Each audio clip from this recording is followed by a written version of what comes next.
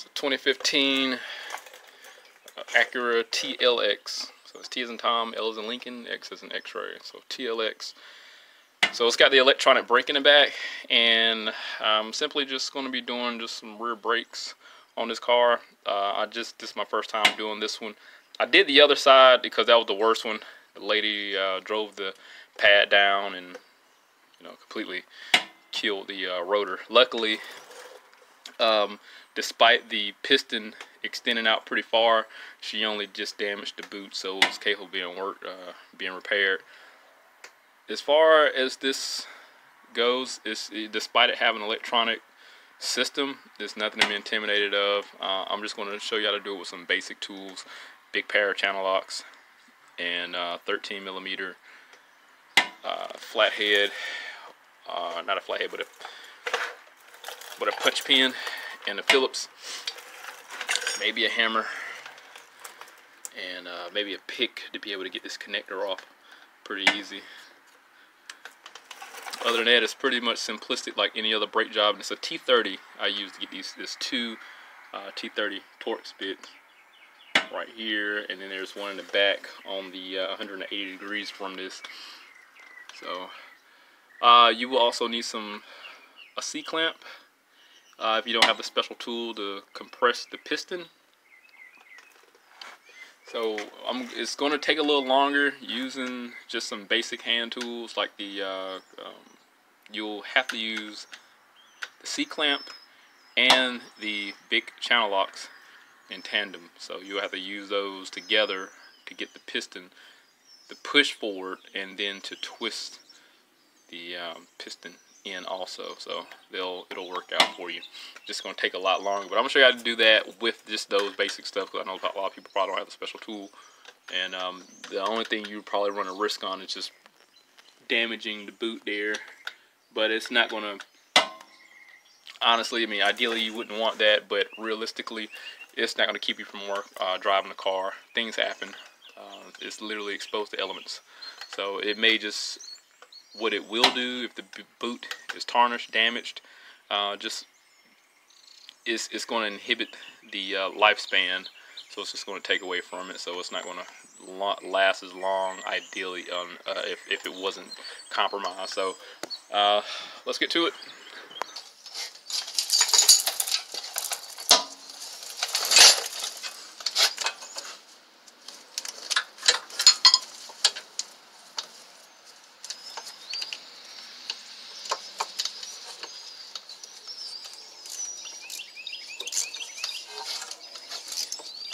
Use my T30 here to get this electronic actuator off here.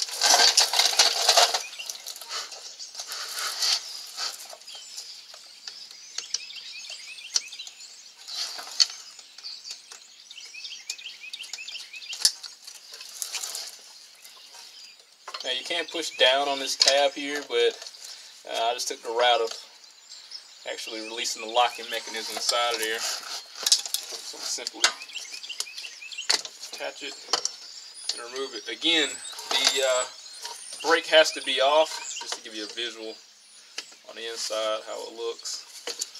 There's the opposite ends there, the holes I was referring to.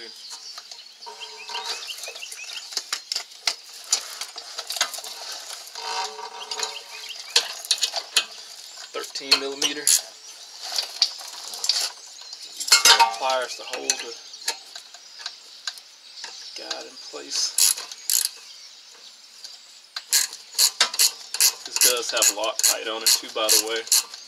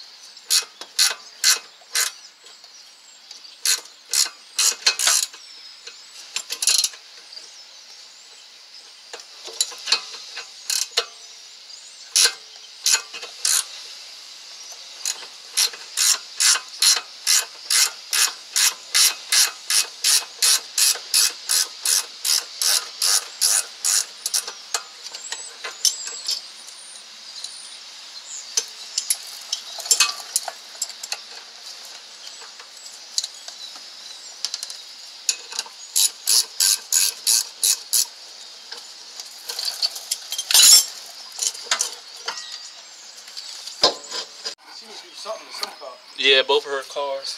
Yeah, she both cars or something. I remember. I saw her last last week. I said, well, just call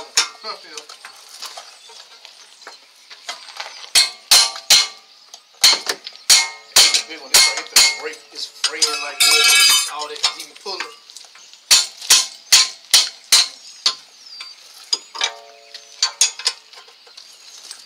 See, look at that.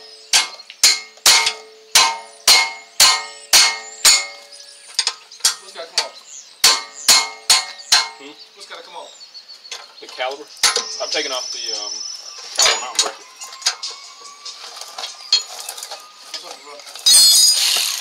I can't call it. What's the word? That line.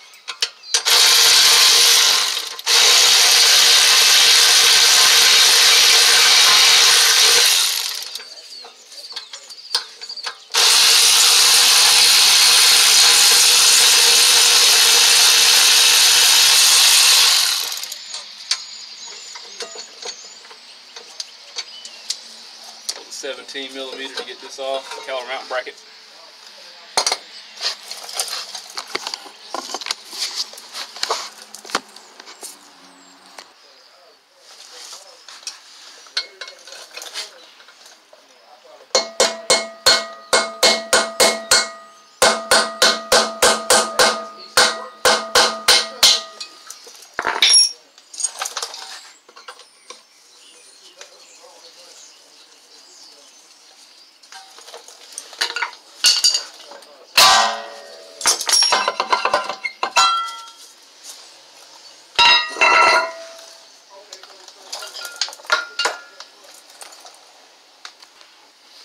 Alright, here comes the uh, challenging part here.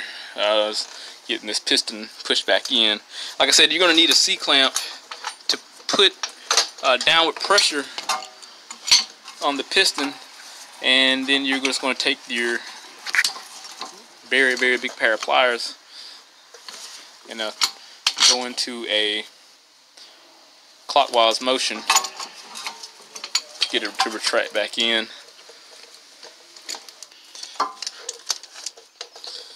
Alright, so let's see if I can twist this in with these big pliers here. Now, despite what people may feel about this, just hit that dislike button. I'm cool with that.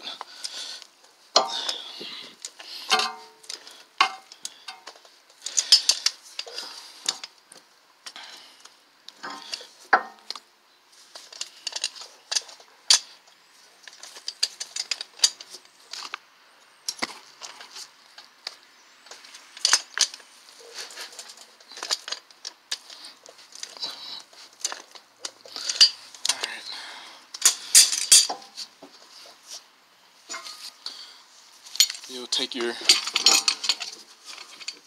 C-clamp, push down a piston a little bit. Uh-oh. Just give it a little downward pressure. See it moved a little bit. And then just keep on turning.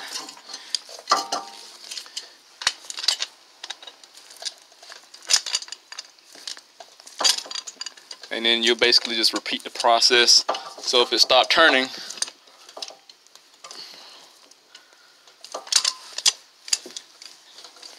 if it stopped turning, um, going down as you use the pliers, then you take the C-clamp, push down on it again, and just like I said, just administer some downward pressure. It'll it'll work out. It's going to take a while, but um, just want to show that part of it.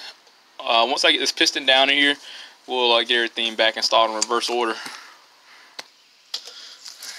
I swear this camera doesn't like natural light. Uh, let's see here.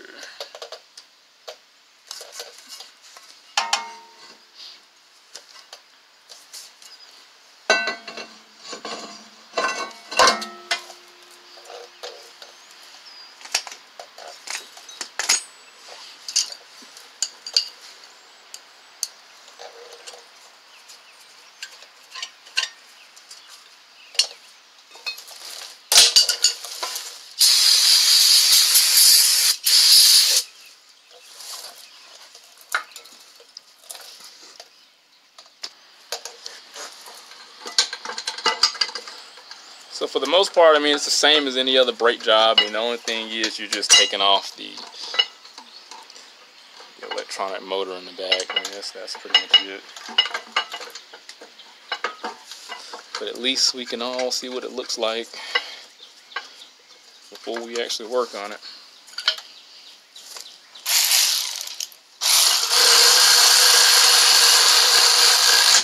Whoops.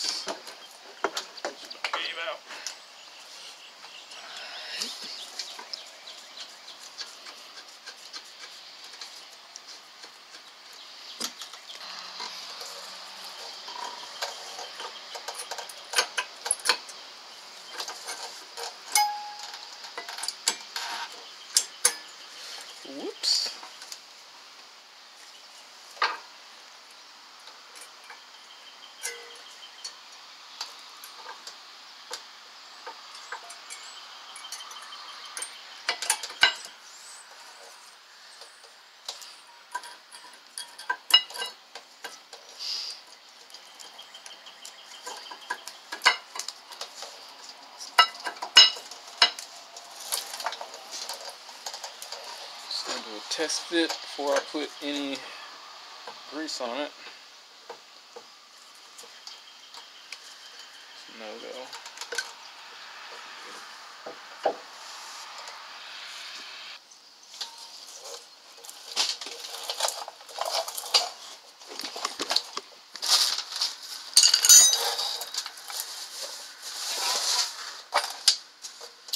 Shit.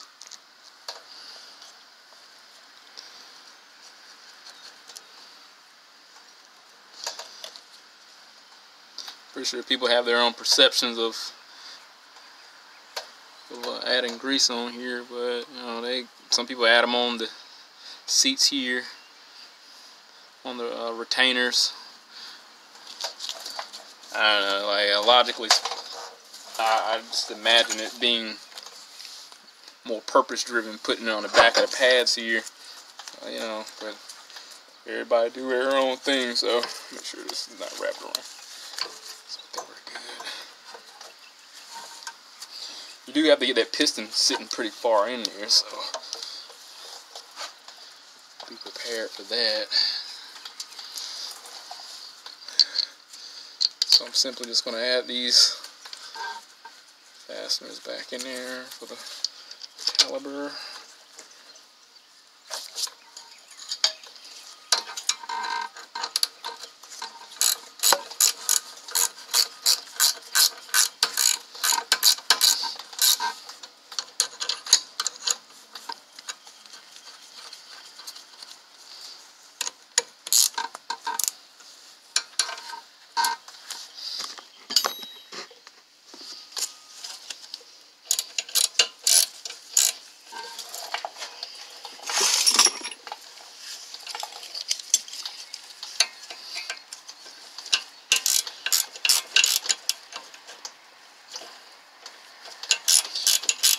I could use a 17 for this, but the thing is, a 17 is a little thick, and I don't feel like fighting with it. So just be a little easier just to use these pliers here to hold it in place while I get it tightened up.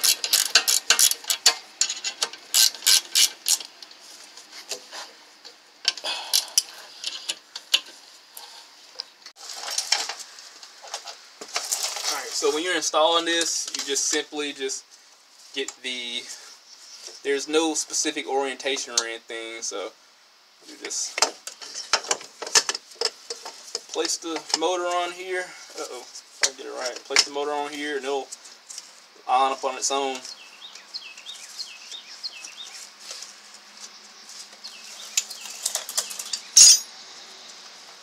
Now I will put a little anti-seize on the bolts going into this motor here any further issues.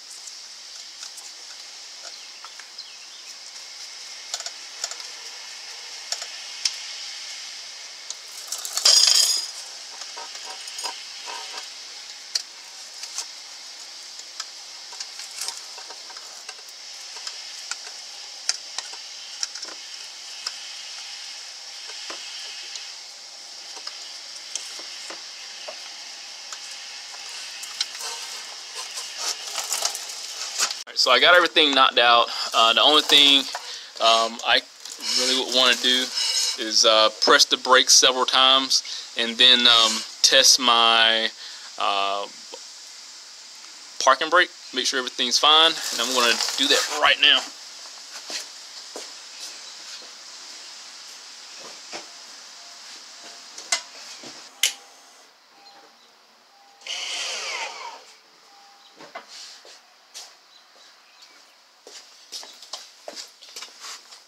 Oh yeah.